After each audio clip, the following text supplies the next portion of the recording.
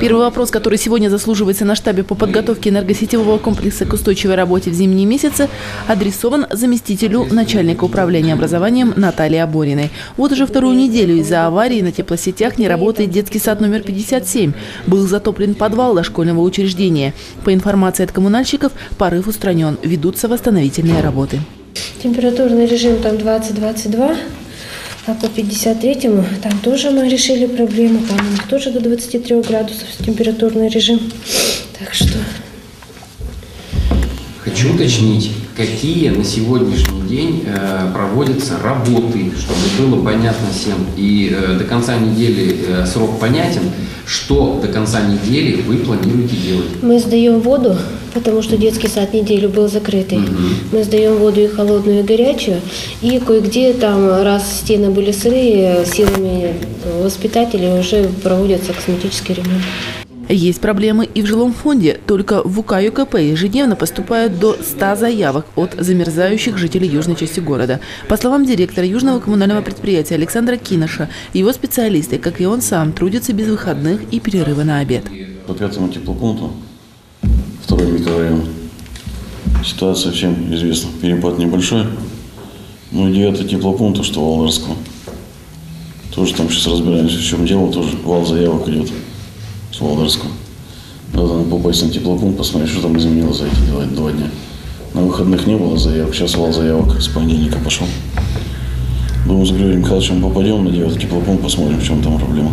Две аварии, это Бажова 20, вот самая такая у нас. Там дом полностью сбрасываем. Стояк в, одной в квартире побежал. Сегодня сделаем. Ну и вот четыре дома первым делом запустить. Если ранее говорилось, что виной несоответствия температурного режима в квартирах южан служит недостаточный объем теплоносителя от компании «Новая энергетика», то на сегодня, по словам главного инженера МУП ЖКХ Григория Еременко, он увеличен до 1200 кубов. И этого чисто гипотетически должно хватать для обогрева южан. Соответственно, у нас перепады э, улучшились. Э, По-прежнему проблемный пятый теплопункт, то есть там перепад недостаточный. 0,4 по остальным теплопунктам, в принципе, перепады нормальные. Но как бы э, общаюсь, в принципе, с Чепуштановым каждый день. Вроде бы тот расход, о котором мы говорили, 1300, он возможен после промытия всех теплообменников. Но пока, пока 1200. Вот на сегодня на утро тоже 1200. Надежда Сидорова, представитель компании «Новая энергетика», говорит, что ее работники делают все возможное, чтобы качество и количество подаваемого на город теплоносителя соответствовало требованиям, но порой им просто не хватает времени и сил, чтобы своевременно промывать все теплообменники. Так быстро они забиваются грязью, которая приходит с магистральных и квартальных сетей. Люди без выходных работали, вымыли мы только на сегодняшний день три теплообменника. Полностью. Все фотографии есть, все заактировано. Кто, кому любопытно, могу показать, какое количество грязи мы оттуда выгребли. На сегодняшний день сколько теплообменников работает? Работает четыре. Пятый на, на промывке. Надеюсь, что сегодня пятый к концу рабочего дня, вернее, ну как бы не совсем пятый, а третий он. Э, Мы соберем, запустим. Это еще улучшит должно картину, если не принесет дополнительную порцию грязи. Отдельная тема – это отопительный сезон в жилом фонде, что находится во втором отделении совхоза. В этом году для котельной, которая расположена в этом районе южной части Полескова, за счет городской казны приобретаются два новых котла.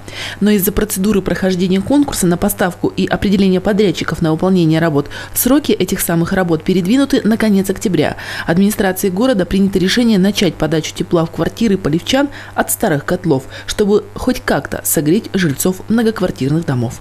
температуру держим недостаточную, они с этим делом борются следующим образом.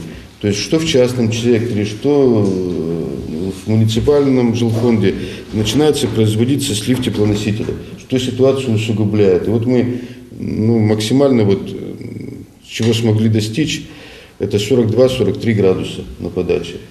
Поэтому вот, вот те работы по замене котлов, которые как бы планировались и которые должен выполнить телеком, вот они как бы необходимо в срочном порядке это все.